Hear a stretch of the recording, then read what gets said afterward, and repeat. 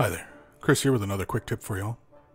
In this video, we are going to magnetize the weapon options on the close combat arms of the Centurion.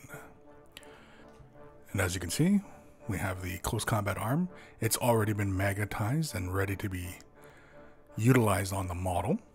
And that was following uh, the previous video's instructions on the guns and the other options because it's essentially the same kind of fitting that goes onto the arm. But we are going to use a different set of magnets for this. As you can see here, there's a little little arm is already magnetized in. Everything fits up nicely and everything works pretty darn good. We are going to be using three 32nd inch magnets or 2.3813 millimeter magnets if you're using metric. Also have our 3 32nd inch drill bit.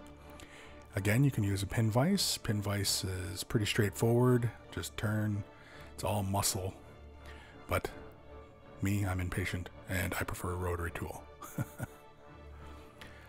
and so when we're getting these parts ready to magnetize, you can see on the inside part of the gun that fits onto this weapon option, and they are they are already keyed so that it, you can tell which one fits where, and it all lines up pretty good. But you can see on the side of the gun there is already kind of this little nodule, and we're going to use that basically as a guide to where we're going to put our magnet. This is a rough guide. It's really not, you know, terribly important, but. And before we begin drill, we create a little pilot hole for where we're going to set the magnet in. And as you can see here, we just create a little hole there. Using our little nodule that's in that little keyed in area, we create a little pilot hole off of that. Although it wasn't entirely necessary because the drill bit is bigger than that little nodule is, and it ends up just kind of destroying it.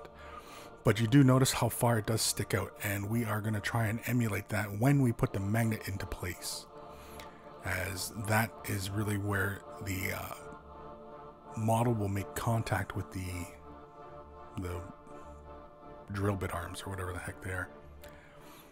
You can see, so we have the hole drilled.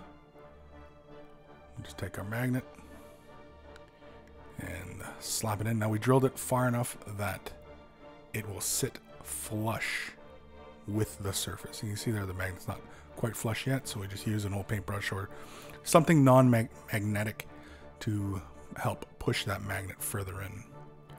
And then we'll just wipe away excess glue or what have you. Tension alone sometimes will hold the magnet in place. If you drilled it right the first time and in one try, you, can, you went straight in and straight out and you drilled a perfectly good hole.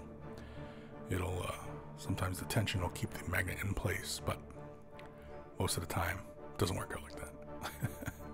Unless you had a drill press, a little miniature one. You can see here, I'm not using a vise or anything like that for these bits as I can hold on to them pretty well. And I have the RPMs really low on the drill bit that I'm not too worried about drilling into myself or drilling through the model. Using a pin vise, obviously it's not quite as much of a danger, but with the rotary tool, it is, and so always be mindful of that. If you're not very comfortable with these kind of things, don't do it. and again here, we're just going to use just a little bit of glue. Super glue often works a lot better when you use a very minimal amount. You can see there's quite a bit sitting in the bottom, and so we'll have to wipe the excess away. Crazy glue works a lot better when it's just a very minimal amount needed to hold something in place. And as you can see here, we're just going to seat the magnet so that it's sitting uh, parallel to the surface, like the surface of the magnet is parallel to the surface of the rest of the bit, just so that it sits well against this rest of the model. And then once we have both bits drilled out and magnets in place and glue is dry, we just simply slap it in. Now because the weapons have those kind of little keyed spots onto them, they don't move a whole lot when you put them onto the model. As you can see there, and we just take this little guy and slap him on. And you can see they don't turn, rotate, or anything like that. And it's all good. And that's it. That's weapon. Uh, that's magnetizing your weapon options for your close combat. It's easy as that.